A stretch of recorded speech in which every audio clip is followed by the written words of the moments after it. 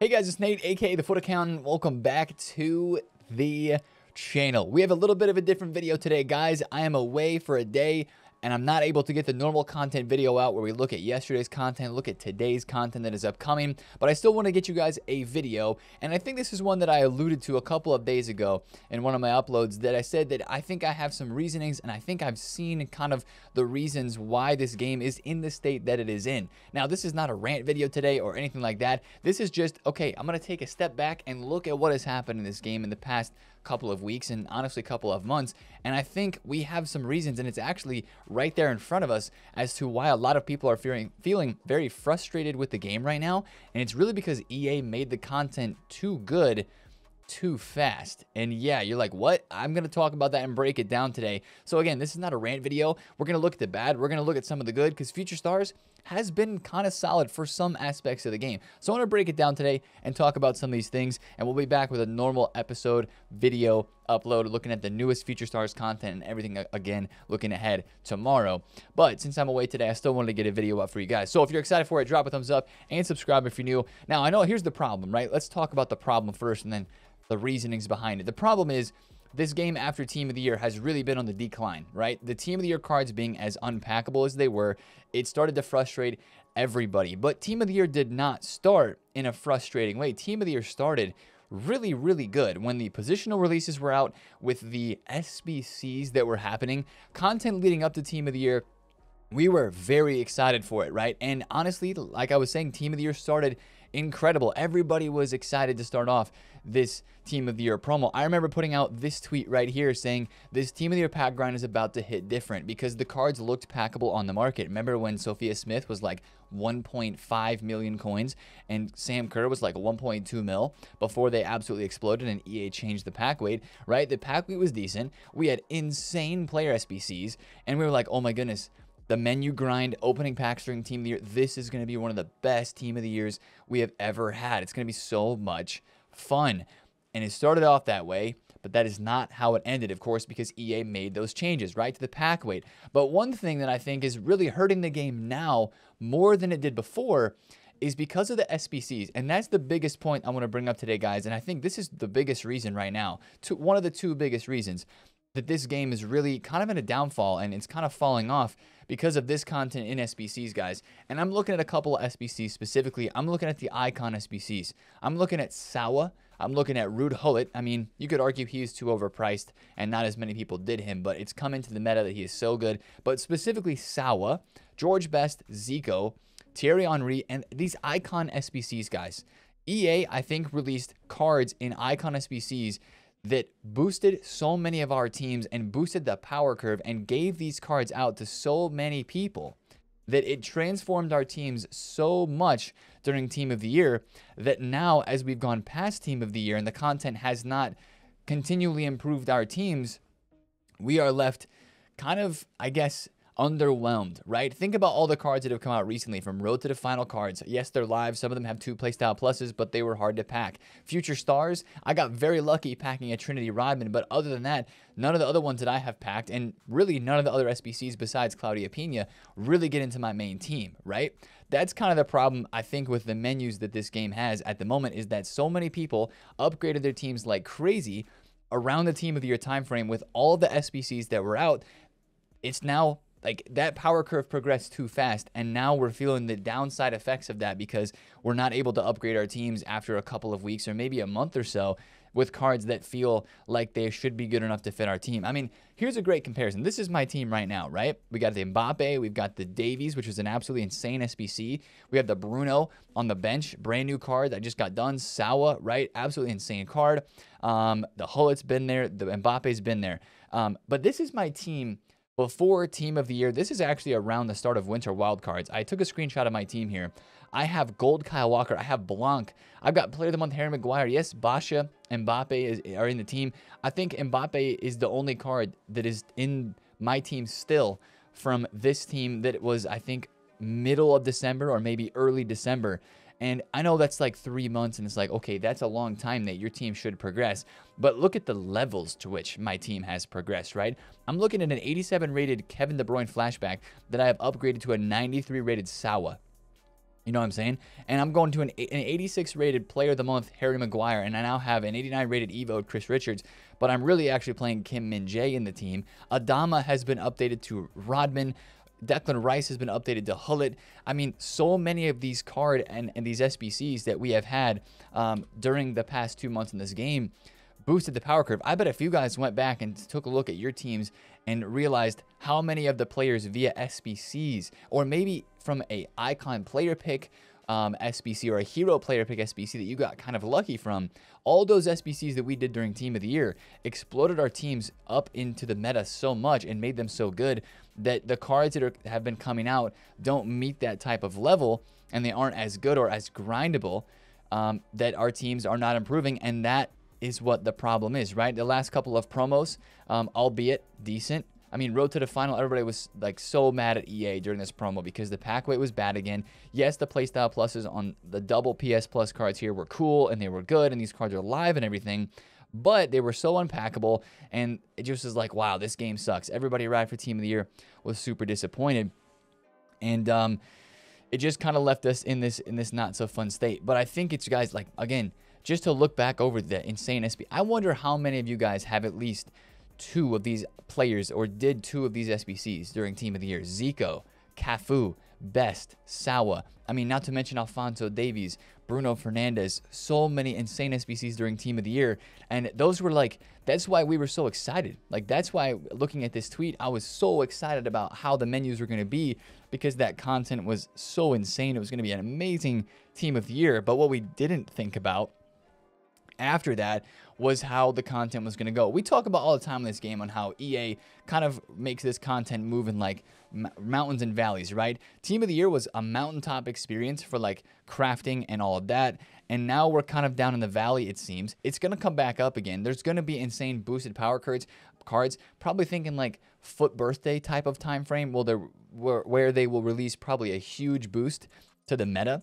But until we get there, it just feels like we're in this kind of valley as we upgraded our teams crazy, crazy, crazy. And now it's just kind of like, oh, this is a whole lot of mid or a whole lot of L aspects to it. So I think that is problem number one with the menus right now that is making people frustrated. All these new cards that are coming out, yes, the Paul is cool. Yes, this Jota card is cool, but it doesn't get into most people's teams, especially if you grind the menus a lot doesn't get into your team. Now, if you're somebody who maybe just started the game during Team of the Year, if you're a newer a player of the game, if you just got it recently, you're probably like, okay, this is still pretty dope content. I'm still grinding through these icons. I'm still crafting. Whereas a lot of us who have been playing the game for a long time are looking at this and saying, dude, we need more. We need another big future star icon to craft. We need another big SBC to craft because after Team of the Year, we had all of these, which most of us have completed the ones we wanted to do.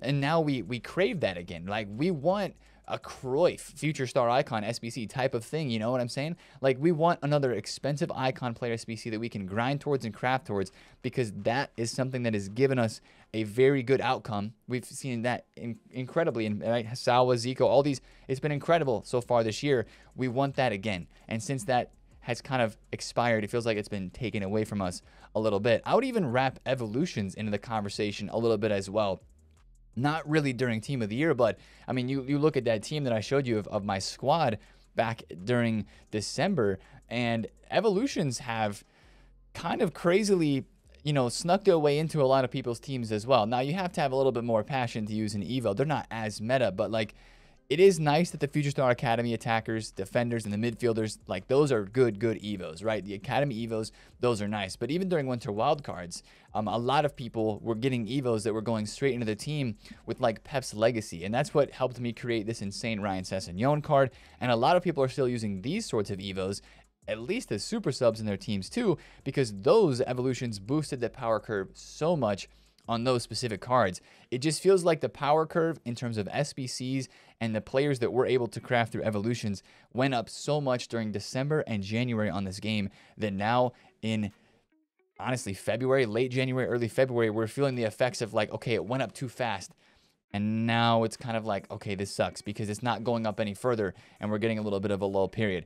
But I will say, with some of these new cards that, have, that are coming out, Future Stars Team 2, we're still seeing some pretty good cards come out, guys. Um, this Zaire Emery card, like those stats, that to me is something that is we're getting close to like team of the season level. I know that team of the season every year looks different, but just look at this Zaire Emery card with two playstyle pluses 90 pace, 90 dribbling, 85 above in every of the important stats. Of course, 80 shooting. Okay, he's more of a CM center defensive mid. That's fine, right? But like we're almost getting to 90s in a lot of these different stat categories for a marquee card in a promo. Take a look at Khéphren Thuram's Tots card last year. This is a card that came out in, oh, yeah, almost May, by the way. Team of the season started last year, late April, very early May. This card was 400K. He didn't have a stat in the 90s, but he had all 84 and above stats. A lot of 87s, couple 88s, couple 89s. Like this card is not far off from that. And that, I think, is a testament to how much the power curve has gone up in the recent weeks on this game, and especially what Team of the Year started with those big boosted cards. We knew the Team of the Year cards were going to be insane. Obviously, they are every single year. But it just seems like the power curve in terms of the players' stats this year went up so much that EA has to try to keep building on that. And they're right now just building on it in very small incremental values, which is causing us to be a little bit not as happy because it's smaller changes and not the big jumps like we saw around the team of the year time frame. So I think that's the menu content. I could show you a couple other examples like this Basha card. That's an almost TOTS level left back for sure, right? Now for team of the season this year, we're thinking maybe three playstyle pluses is a part of the cards they're going to release, which is going to completely change the power curve when we get there for sure. But like high 80 stats and 90s on a card, same thing for like Cole Palmer, like this is getting crazy, man. We are getting to the like almost end game level stats so early on this year. It is absolutely wild. So that's kind of the menu conversation that I want to have for today. I don't want to make this video super long because I think I've got my point across already. But the other thing I want to mention too is a problem that's been here since the beginning of the game is gameplay opportunities and gameplay abilities. Like in other games, when you think about I don't know, like GTA, you think about Fortnite, you think about even other games like Call of Duty where the gameplay is the central thing. Same thing for FC24. The gameplay is really the backbone of the game where you use all these cards, right?